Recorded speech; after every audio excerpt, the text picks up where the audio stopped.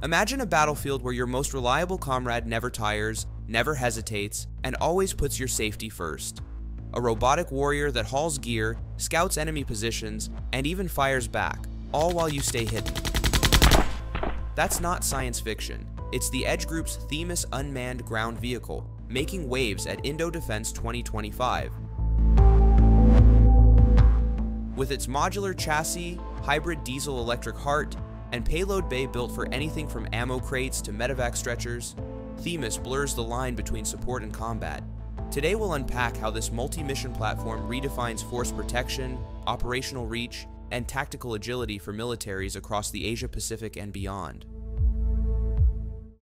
Indo Defense 2025 in Jakarta drew defense ministers, military delegations, and tech innovators from across the Asia-Pacific. Against a backdrop of regional flashpoints, from the South China Sea to contested archipelagos, the exhibition spotlighted robotics and autonomy as force multipliers. Edge Group's booth buzzed with curiosity around Themis and its growing role in tomorrow's conflicts.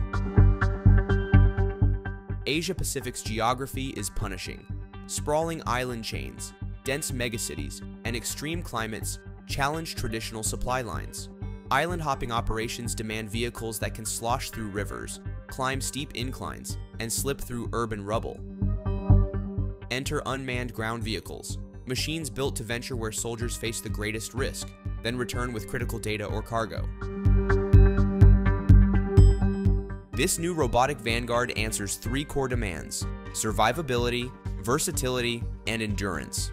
Instead of sending convoys into ambush zones, commanders can launch Themis ahead, scouting for IEDs or enemy patrols. Stealthy electric runs let it survey nighttime positions without engine growl or muzzle flash. And when medevac or resupply is urgent, it shifts roles in minutes. Themis measures about 2.4 meters long, 2 meters wide, and just over 1.1 meter tall, compact enough for narrow city streets, yet stable on rugged trails. Weighing between 1,650 kilograms for the cargo variant and 1,810 kilograms for the combat model, its tracked undercarriage conquers 60% gradients and wades through 61 centimeters of water without breaking stride. Under the hood sits a hybrid diesel-electric powertrain delivering up to 15 hours of cruising endurance. Needs silence? Flip to electric-only mode and operate for 90 minutes with near-zero acoustic signature. Top speed clocks in at 20 kilometers per hour, no sports car, but more than enough for battlefield repositioning or tactical withdrawals. At its core is a modular payload bay. One moment it hauls 750 kilograms of ammunition, the next it carries stretchers for CASEVAC missions. Swap in ISR sensors, comms relays, or bomb disposal robots in minutes. This plug-and-play architecture means a single chassis can handle logistics, reconnaissance, or EOD on the same sortie.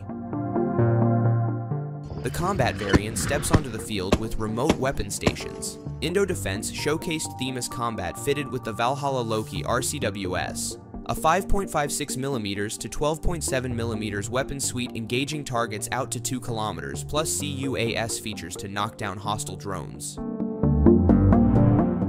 For Asia's island states and littoral missions, amphibious capability is non-negotiable.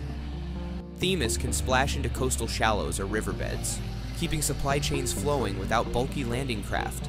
Its compact frame navigates tight compounds or mountain tracks, bridging the gap between airliftable drones and heavy armored vehicles. Globally, 19 nations have adopted Themis, including 8 NATO members and the UAE, which just ordered 40 UGVs plus 20 tracked combat robots for its world-leading robotics program.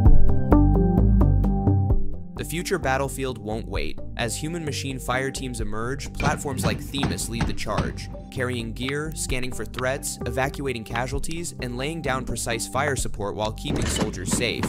What role do you think unmanned ground vehicles will play in your military's doctrine? That's all for today. Thank you for watching.